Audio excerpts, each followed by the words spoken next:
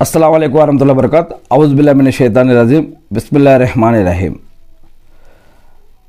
ఖురాన్ మరియు హదీస్ల ఆధారంగా ఇస్లాం పద్ధతి ప్రకారం ఉపవాసం కూడా ఆరాధనలో ఒక భాగం.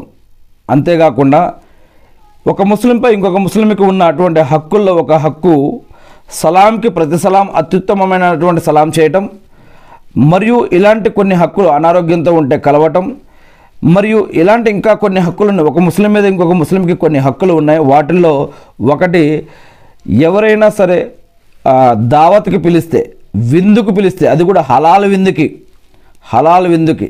అంటే ఇస్లాం పద్ధతి ప్రకారం ఇప్పుడు ఏదైతే ఇప్పుడు పెండ్లి కానీ హకీక హకీక కానీ ఇటువంటి ఏదైనా దావత్ ఉంటే కనుక మరి ధర్మబద్ధమైనటువంటి విందులకు పిలిస్తే ఖచ్చితంగా అవి అటెండ్ చేయాల్సిన అవసరం ఉంటుంది. ఒక ముస్లింకి ఇంకొక ముస్లింకి ఉన్నటువంటి బాధ్యతల్లో ఇది కూడా ఒకటి.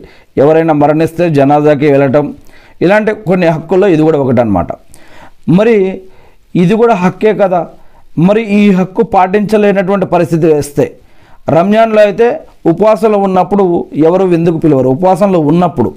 కానీ మిగతా రోజుల్లో నఫిల్ ఉపవాసాలు మనం ఉంటాం. మనం ఉపవాసం ఉన్నది లేనిది వేరే వాళ్ళకి తెలియదు కాబట్టి కేవలం అల్లాకే తెలుస్తుంది.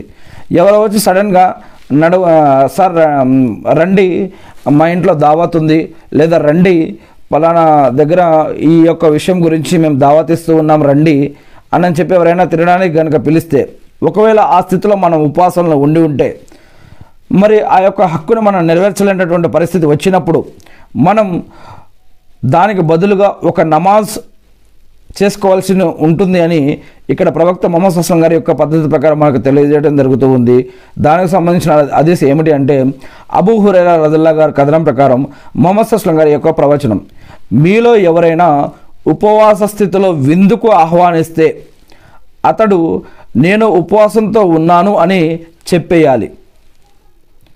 ఇంకొక ఉల్లేఖనంలో ఏమనుందంటే మీలో ఎవరైనా విందుకు ఆహ్వానిస్తే ఆహ్వానాన్ని స్వీకరించాలి. ఒకవేళ ఉపవాసంతో ఉంటే గనక అతడు నమాజు చదవాలి. ఒకవేళ ఉపవాసంతో లేకపోతే విందు ఆరగించాలి అని ప్రవక్త మొహమ్మద్ అస్లం గారు తెలియజేశారు అని అబూ హురేరా రజల్లా గారు తెలియజేస్తూ ఉన్నారు. ఇది ముస్లిం హదీస్ గ్రంథం నుంచి తీసుకోవడం జరిగింది. అంటే ఒకవేళ అతడు ఉపవాసంతో ఉంటే ఉపవాసం విరమించకూడదు. అదేవిధంగా అదనపు నమాజ్ చదవాలి. ప్రవక్త మొహమ్మద్ అస్లం గారు ఉమ్మే సులైం రజల్లా గారి ఇంట్లో అదనపు నమాజ్ చదివారు అని ఇంతకుముందు హదీస్లో మనం తెలుసుకోవడం జరిగింది. ఈ విధంగా ఒకసారి విందుకు పిలిస్తే మొహమ్మద్ అస్లం గారు ఆ ఇంట్లో ఒక మూలకి పక్కకు వెళ్ళి విందు ఆరగించకుండా నేను ఉపవాసం ఉన్నాను అని చెప్పి పక్కకి వెళ్ళి నమాజ్ చదివినటువంటి అదిస్ని మనం ఇంతకుముందు చదువుకోవడం జరిగింది. మరి ఆ విందుకు పిలిచినటువంటి వ్యక్తులు కూడా అర్థం చేసుకోవాలి ఉపవాసంలో ఉన్నాను అని చెప్పగానే వీరి పట్ల బలవంతం చేయకుండా వారు కూడా అర్థం చేసుకొని వారు కూడా వీరి కోసం దువా చేసుకొని అందరూ కలిసిమెలిసి ఉంటే మంచిది. ఇటువంటి చిన్న చిన్న విషయాల గురించి అపార్థం చేసుకోకుండా ప్రతి విషయం కూడా ఆరాధనలో భాగమే. మీరు విందు చేస్తున్నారు ఆరాధనలో భాగమే. ఇక్కడ నమాజు ఉపవాసాలు నడుస్తున్నాయి ఇది కూడా ఆరాధనలో భాగమే. ఒకరిని ఒకరు అర్థం చేసుకొని ముందుకి వెళ్ళాలి అందరూ కలిసిమెలిసి జీవించాలి. ఏది ఏమైతేనేమి నేను సృష్టికర్త అయిన అల్లాను ప్రార్థిస్తూ ఉన్నాను. అల్లా మీరు ప్రవక్త మొహమ్మద్ సల్లాహస్లం గారి ద్వారా ఏదైతే ఖురాన్ హదీసులు జీవన మరియు ఆరాధన పద్ధతులు ఏవైతే మాకు తెలియజేశారో అవి మేము తెలుసుకొని నేర్చుకుని అర్థం చేసుకొని గుర్తుపెట్టుకొని తెలియని ఇతర మా సోదరి సోదరులకు తెలిపే భాగ్యాన్ని మాకు ప్రసాదించండి వల్ల. ఆమెన్.